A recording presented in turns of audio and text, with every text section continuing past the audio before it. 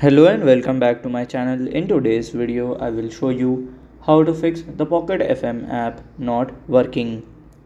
Let's get started. So we will do in two steps. So just press and hold that here. Click on this I button. Then you have to go to the storage.